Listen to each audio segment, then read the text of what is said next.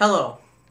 So this is a selenium new and improved video, and I decided not only to do new and improved videos for the transition metals, but also for some other elements that I felt that I could uh, do a better job of um, doing, doing more experiments or something than I did in my previous video.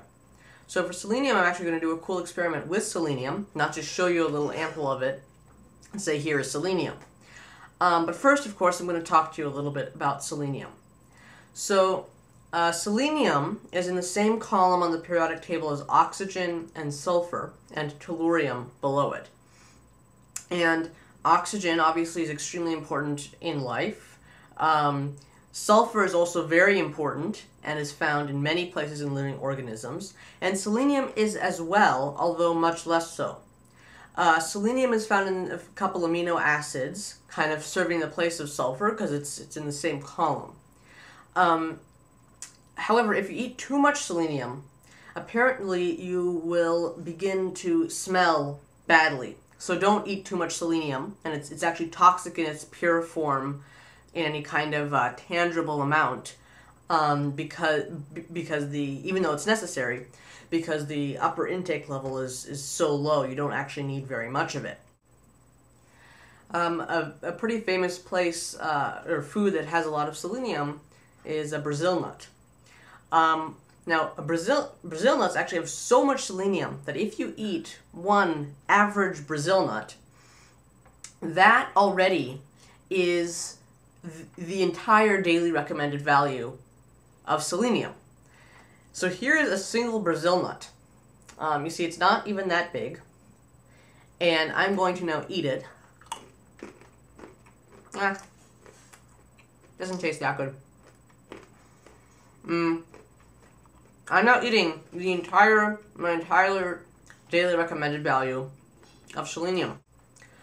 So here is something else that I think is very cool about selenium. Selenium is just in the right place on the periodic table, where it has some metallic properties and some non-metallic properties. It is a metalloid. Now, what this means is that it can have certain forms of the pure element that kind of appear metallic, and certain forms that appear non-metallic. Now, this is true for several elements, but I think it is, at least in my experience, the most pronounced for selenium. And I'm about to go down to the lab and do an experiment where I uh, demonstrate this these two di different or show these two different forms of selenium and demonstrate how selenium can look both metallic and non-metallic. So let's head down to the lab. In this video, I'm going to convert black selenium, a lustrous metallic form of selenium, or metallic looking form of selenium, into red selenium, an amorphous, non-metallic form of selenium that looks a little bit like sulfur, except for the color. So the first step in this process is to add some nitric acid.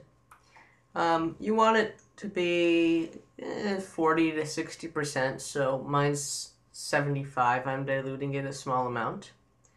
Um, and then just get like an alcohol lamp or something and gently warm up the acid to make to make the selenium react more.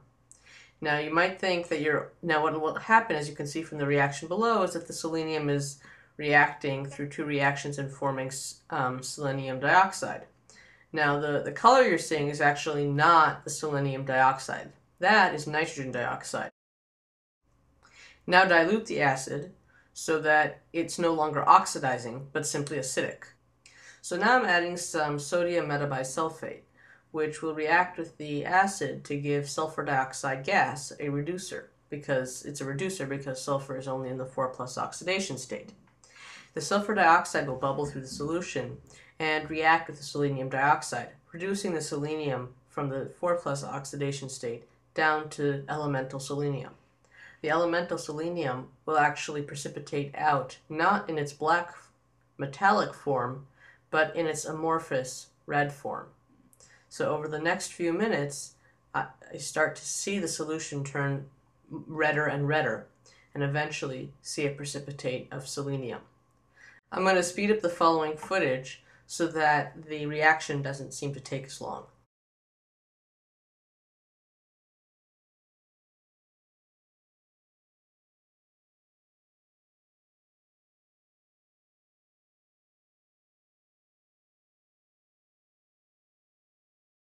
Here is a selenium the next day, and it has mostly settled down to the bottom. Here I'm converting the red allotrope back to the uh, black allotrope simply by heating it with a torch.